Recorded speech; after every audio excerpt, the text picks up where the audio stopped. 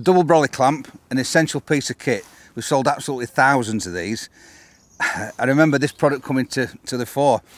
It was back in 2011 when um, the idea was to get a sun shade, so I used a small bait brolly uh, to keep the sun off me, and I tried to distance it with a single arm and a knuckle on it. First gust of wind, it twisted the arm, snapped it off, and it blew into the lake, I think. And I came back home and basically just put two together and did it as a what is now known as the double brolly clamp.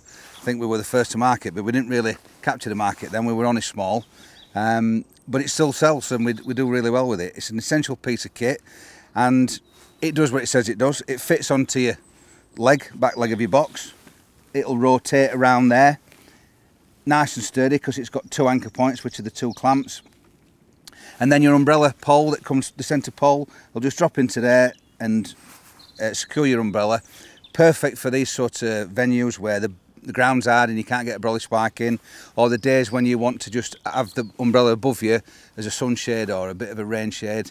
Um, that'll do everything you need it to do and keep it nice and secure. This is a 36mm leg box and without the inserts in, that'll take that'll go straight onto a 36mm leg. But it does come with pairs of our three different inserts which take you from a 19mm square through to a round 25, the 23mm square up to a round 30 and then obviously without the inserts as I've already said onto a 36. Brilliant bit of kit, wouldn't be without one, brilliant in the right circumstances.